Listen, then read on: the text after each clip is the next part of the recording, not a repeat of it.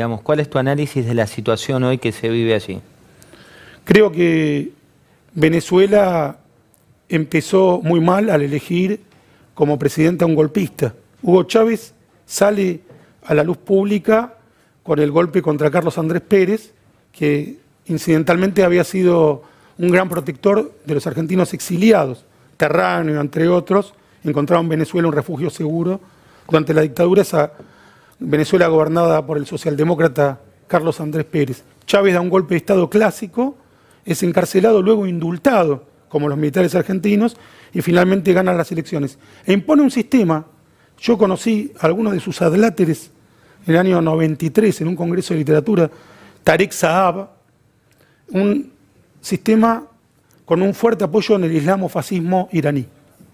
Esto puede parecer eh, grandilocuente, pero realmente Venezuela fue la cuña de la República Islámica de Irán en Latinoamérica, que llega hasta la impunidad de los asesinos de la masacre de la AMIA en Argentina e incluso a la muerte del fiscal Nisman. Chávez representa esa, eh, ese sistema oscurantista que intentó adueñarse de Latinoamérica. Su fracaso es Maduro, que no tiene ni siquiera la inteligencia necesaria como para sostener con cierta estabilidad la opresión. No cualquiera es un títere de los iraníes en Latinoamérica.